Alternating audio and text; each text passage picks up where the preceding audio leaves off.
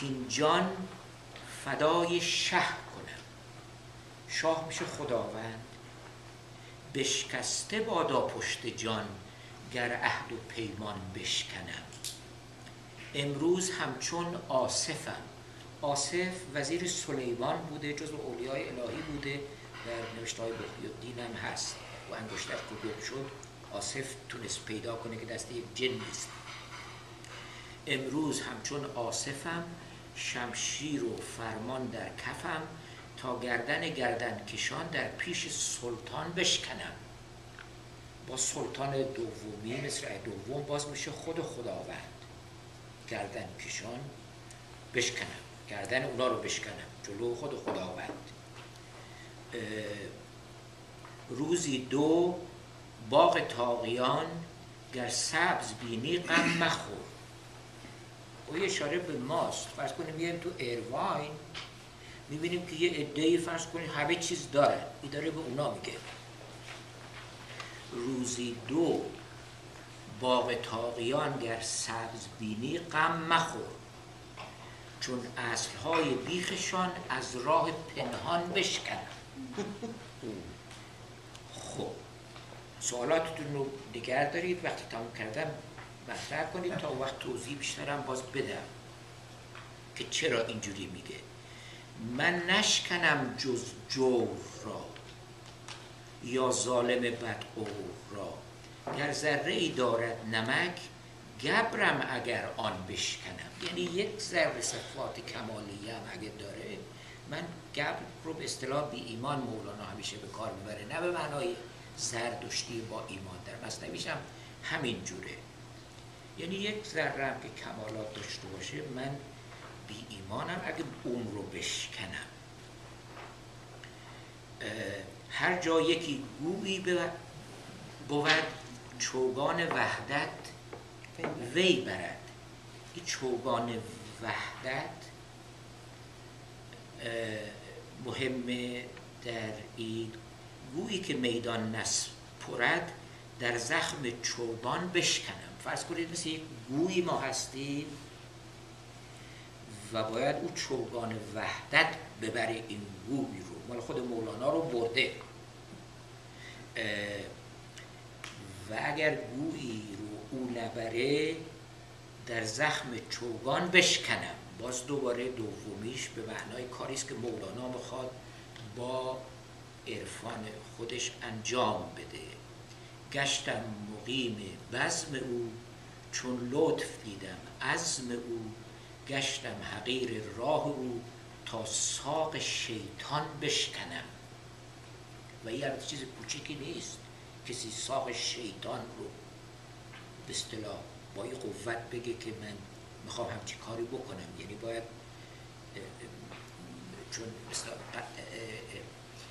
اقرا هم که یعنی دروغ هم که نمیگه عارف که چون در کف سلطان شدم یک حبه بودم کان شدم. و این اشاره به بقای بعد فنا هست. واقعا مثل یک دونه هست آدم وقتی که به خودش وصل میشه مثل یک معدن بشه. مولانا البته شده گر در ترازویم نهی میدان که میزان بشکنم. میزان او, او وسط این ترازوهای قدیمی است دیگه. یعنی اینقدر سنگین میشه طرفش که او رو بشکنم اشاره به سنگینی که در بیت قبل بود. چون من خراب و مست را در خانه خود رهدهی پس تو ندانی اینقدر کین بشکنم آن بشکنم. این دیگه با خود خدا داره حرف می‌زنه. گر پاسبان گوید که هی بر وی بریزم جام می دربان اگر دستم کشد من دست دربان بشکنم. چرخر نگردد گرد دل از بیخ و اصلش برکنم. چرخ رو گفتم یعنی firmament of heaven. یعنی اگه این firmament of heaven دور دل من نچرخه در مصنوی هم اینا هست. چرخ رو از بیخ و بن بشکنم. این رو داره میگه. گردون اگر دونی کند او باید باشه گردون گردان بشکنم. من فکر کنم دال اونجا جا افتاده. گردون باید باشه. گردون نگردون کند گردون گردان بشکنم. بله همینه. بله درست. الان شما میگید. همینجور من فکر کردم خود نه. خانه کرم گسترده ای؟ پس به خود خداوند داره میگه. مهمان خیشم برده ای؟ گوشم چرا مالی اگر من گوشه نان بشکنم؟ اینا روشنه؟ نه نه منم سرخان تو سرخیل مهمانان تو. جامی دو بر مهمان کنم تا شرم مهمان بشکنم.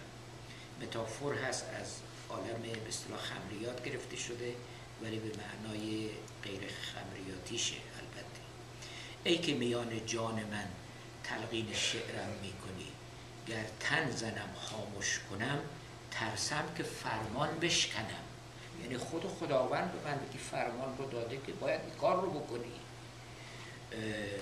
از شمس تبریزی اگر باده رسد مستم کند من لا خود استون کیوان بشکنم. و چون در ابتداعا این تجربه خداوند از طریق شمس الدین تجربه خداوند یعنی experience of God به ایشان منتقل شده در اینجا اسمش هست من لا وار خود استون کیوان بشکنم. نه نه اجازه بدید اجازه بدید. من این دوتای دیگرم می‌خوانم و بعد شما یک ساعت فرصت خب همون سوالات یک تا اینجا دارن. بعد از اینکه دوتا رو خواندم سوالات رو کرد. این غزل یازده هشتاد و پنج. آقای شجریان این رو خوانده بوده چندین سال قبل. باز معنای رهایی و آزادی در این غزل هم هست. چنان مستم چنان مستم من امروز که از چنبر برون جستم من امروز. این برون جستن معنای رهایی داره. مستی هم به معنای عرفانیشه در شعر مولانا و نه در شعر حافظ.